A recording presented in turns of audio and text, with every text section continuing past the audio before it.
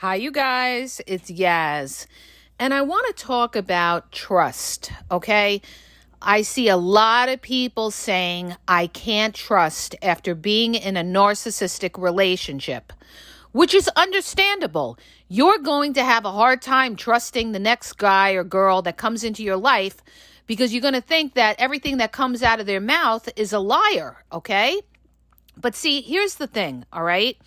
And we have a lot of people in today's society that are walking around and have no trust, okay? Narcissists don't trust. And I had some guy, you know, say on one of the posts, well, if I don't trust, does that necessarily make me a narcissist? I'm not a narcissist and I don't trust. No, it doesn't make you a narcissist, okay? Because with a narcissist, they have no empathy. They don't care who they hurt along the way as long as they meet their needs, meet their benefits. So it's a completely different thing. You're not trusting because you've been hurt, but you're not looking to hurt somebody in the future to get some kind of supply. So that's the difference between you having no trust and a narcissist having no trust and differentiating you from being a narcissist. Now, I want to bring up this issue of trust, okay? Here's the thing, you guys yes, there are a lot of slimy people out there. And for you not to realize that, then you have to be either very young or very naive. But if you've lived lo- enough life, like I have, okay, and you've been, you know, you've seen a lot in your life, you're going to realize that there's a lot of people you can't trust out there. And especially especially on a dating app because 80 to 90% of those people on a dating app are already in relationships. They're married or they have a, a, a relationship going on or they're in a situationship and they're out creeping on the dating apps okay? So dating apps are not a good resource to finding authentic, sincere people.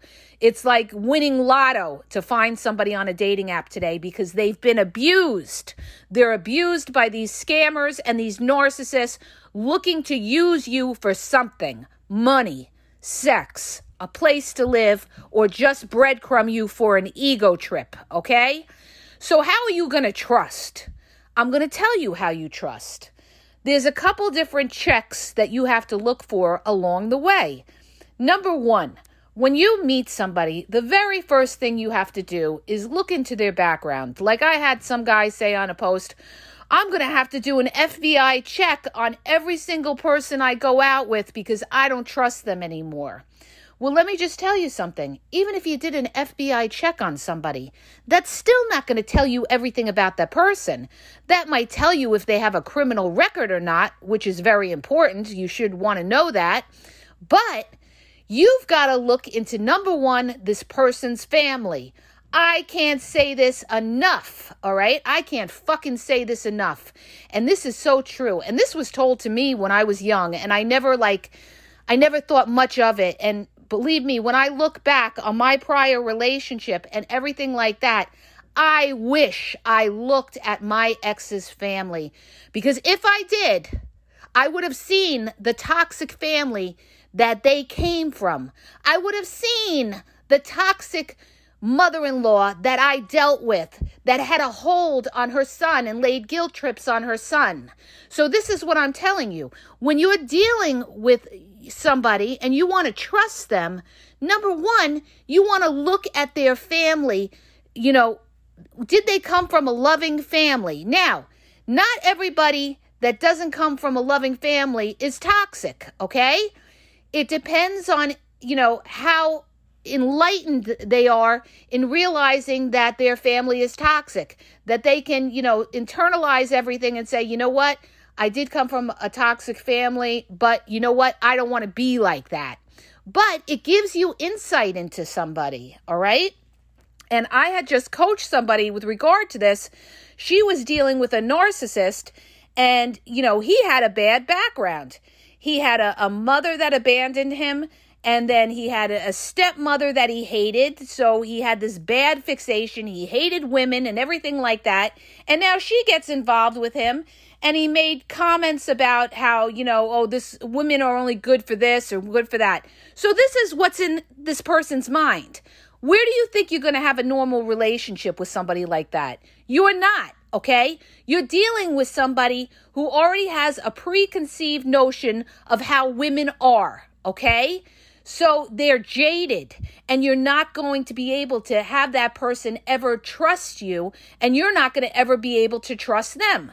Because here's the thing if if you're with somebody and they can't trust you, you are never going to trust them because they're going to be doing shady shit on the side if they're a narcissist because they don't trust you or they're not going to open up to you like covert narcissists and they're always going to have a wall up and they're you know you're never going to have any intimacy with them because they don't trust you.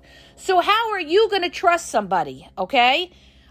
I'm going to tell you You've got number one rule you've got to move slowly with it and you've got to pick up on those red flags, all right? You never let anybody rush you in a relationship. Never, okay? It, it, it takes at least six months, longer, it takes years. And sometimes people are married 20 years and still don't know that person, but you've got to sharpen your senses to size somebody up and size up whether you can trust this person, okay? And the way you're going to know whether you could trust somebody is whether they follow up. They say what they they do what they say. In other words, they don't make false promises. Covert narcissists do this all the time. They promise to take you on trips. They promise to marry you. They promise they'll always be there for you. They promise they won't ghost you. And in the end, they fail, okay? In the end, they're unreliable and they're full of shit, okay? Because their actions are not matching up to their words. So, how are you going to know that you could trust someone? Their actions have to match their words, okay? It's got to be consistent. Now, the key is, you guys, now listen good. The key is it's not only going to be consistent in the first three months it's got to be past six months of consistency. Now, when you see that this person fucks up, okay, if they ghost you any which way, you have got to get rid of them. That is a sign, an indirect sign of disrespect. They have no respect for you. And especially in today's day of technology, there is absolutely no reason why somebody should ghost you. Because I'll tell you one thing I can guarantee they never ghost their boss. All right. And why is that? Because they want their fucking paycheck. So why are you going to let somebody treat you like that? If you let somebody treat you like that, they're going to keep treating you like that. They're going to think you're a jerk and they're going to cheat on you and do what they want and string you along and worst of all, waste your fucking time. Okay? So get rid of anybody that does anything like that. Okay? But now, we're focusing in on trust. We're watching the actions. We're watching the pattern of behavior. Now, very important, you guys, besides looking into the family, you've got to look and see if this person knows how to love. A lot of these narcissists do not know how to love because they have never been loved. They have never been validated as a child. So they don't know how to give it, okay? Or they're bitter about life or something and they feel like they don't have to kiss your ass. So the bottom line is you want somebody who can be vulnerable, okay? And that is so important. And I'll tell you why. Because somebody can't love you unless, number one, and this is a big one, they respect you. And number two, they can be vulnerable to you. They can completely open up to you and tell you, you know, their innermost secrets and feel comfortable with you. And what is necessary for somebody to feel vulnerable with you? They've got to be able to trust you. That is the key, you guys, the key. So, you need somebody who is not jaded, you know, who has an open mind, who's willing to give of themselves and take a chance with you and trust in you. Now, on your end of things, you also have to be a transparent person in order to earn the other person's trust. But with that transparency does not mean that you have to divulge your innermost secrets to that person right away, okay? Trust is earned over a period of time. So, as time goes by, and I'm not talking one, two weeks like everybody does, they think somebody's terrific because they're consistent two weeks and they tell them every single, you know, little secret under the sun. No, okay? You don't tell, open up to somebody that quickly. You've got to see them at least six months and and sh- they've got to show you that they are consistent they are reliable they are you know speaking the truth there is no confusion. There is no word salad. There is no gaslighting. You know, there this person is a straight fucking shooter, okay? And that's what you want. You want a straight shooter because if you get in a serious relationship with somebody and you have serious issues like money issues, health issues, issues with children, the last thing that you fucking want is a gaslighter or somebody that you can't connect with or you can't work to resolve conflict with because you're going to be miserable. You're going to be arguing. The person's going to give you the silent treatment. They're going to walk out on you when you say something they don't like because they don't want to resolve conflict. And this is something that you got to understand when you're dealing with a narcissist. They don't care about resolving conflict. They see it one way, their way, and that's it, okay? They're not about compromise. And now this brings me to my next point on how do you trust somebody. Part of trusting somebody is being with somebody who's able to compromise, give a little bit, able to, you know, sacrifice in order to make something work, okay? And why are they sacrificing? Because they're trying to make it work with you, okay? And that's something that a narcissist will never do. They're not going to compromise themselves for you. They're going to live the way according to how they want to live. And if you don't like it, there's the fucking door. They'll replace you. That's how a narcissist mind works, you guys. Because to a narcissist, you are replaceable. That's why you never want to get involved with these narcissists. Because you are replaceable to a narcissist. It's a transactional, a tra- how do you say, a transactional relationship, okay? Now, a lot of people say, well, all relationships are like that. No, they're not, okay? Yeah, a lot are, but you know, you want somebody to care about you for the inner you of who you are as a person, the fact that you are a giving person, you have heart, you'll go out of your way for somebody, you'll put yourself out for that person, okay? That other person's got to be willing to do the same. So, in order to trust somebody, these are all the things that you should be looking for. Now, I know it's not easy to find, okay? We live in a self absorbed society, okay? And, you know, if you follow things that were written in the Bible in Timothy, it says, man becomes lover of themselves all right? And people have asked me are we in those times all right? You're going to have to make your own assessment on that. But what i'm going to tell you is this.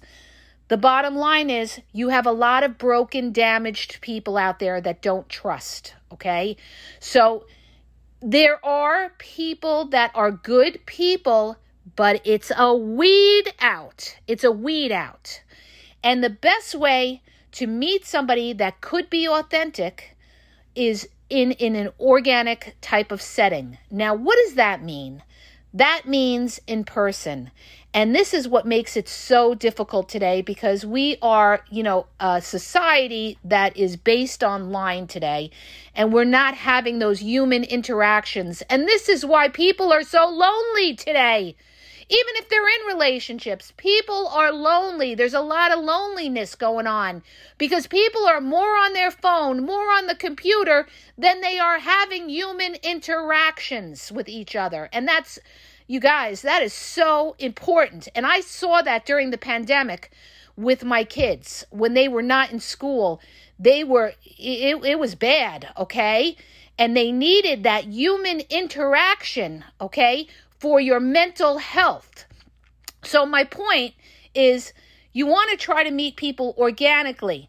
Go to a dog park, go on hikes, join a business group, join a tech group, go go on trips Go to coffee shops, a gym. You may meet a lot of narcissists in a gym, but you could try the gym.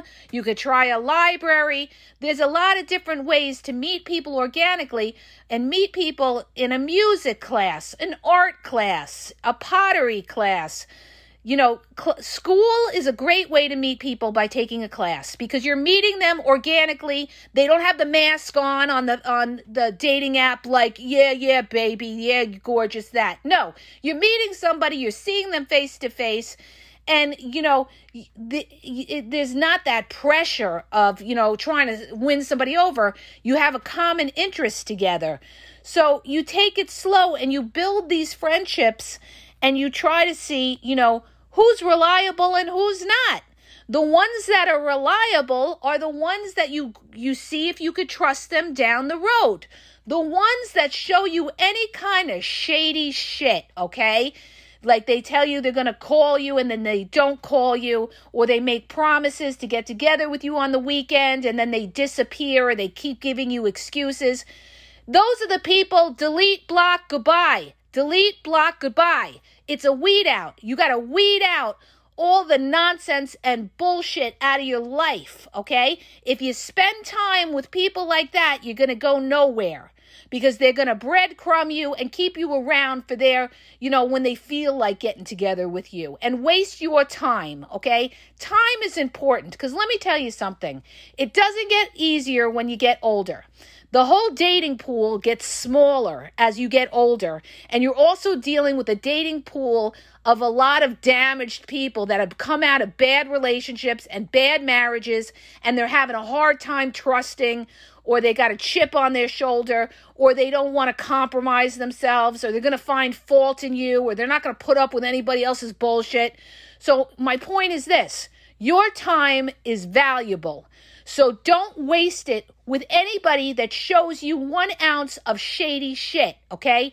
That they're unreliable or they don't respect your time, okay? That's it. You, you got to be no nonsense about this, you guys, because you want, you know, you want to end up being, you know, hopefully meeting somebody. And if you don't, that's okay too. You fill your life with other things.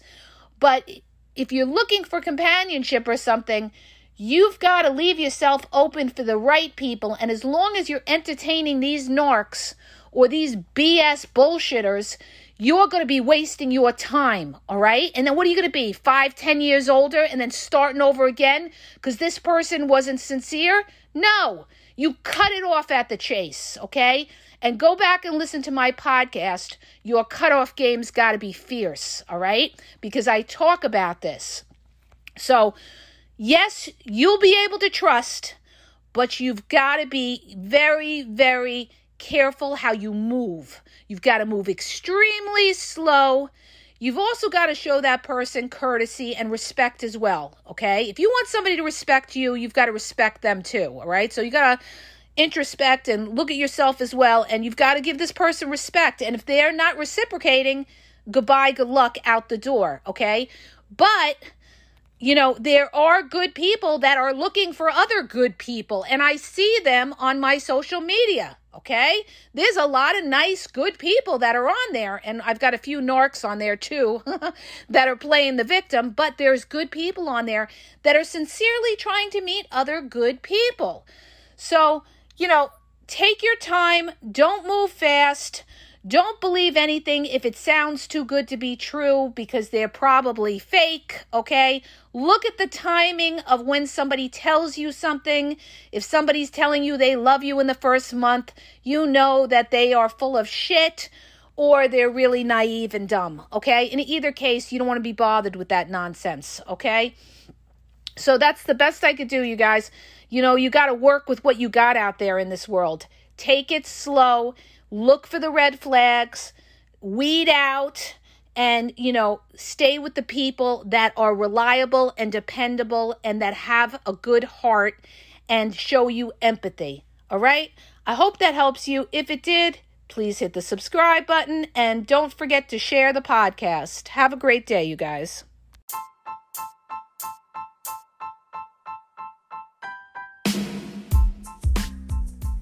If you guys are having a problem in your dating or relationship, or you're dealing with somebody maybe that's narcissistic, you don't know if they're a narcissist, or you're just having problems, you're in a toxic relationship, and you need some clarity on it, go to the link in the podcast description for my website where I offer email and phone coaching.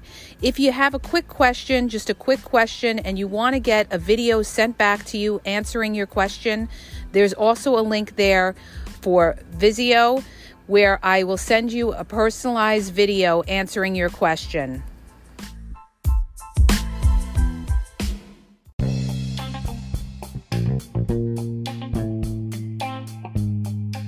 Hi, you guys, it's Yaz, and I want to tell you about my two books on Amazon. The first book is Regain Your Power. It's all about power and relationship. Who has the power in the relationship? And it goes into all of that, okay? The other book is Signs He's Not Into You, He's Wasting Your Time, okay? Check it out. It gives you a lot of good clues as to whether you're with somebody who's a real one or somebody who's just going to waste your time. You could read them both with Kindle's free trial membership. So check it out.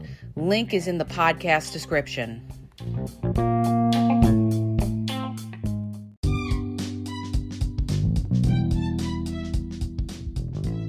Hi, you guys. I just want to let you know that the Game Exposed now has their merchandise available. Check out the link in the bio and you could go check it out. There's cool hoodies, cool sweatpants, cool hats. So go to the bio for the link.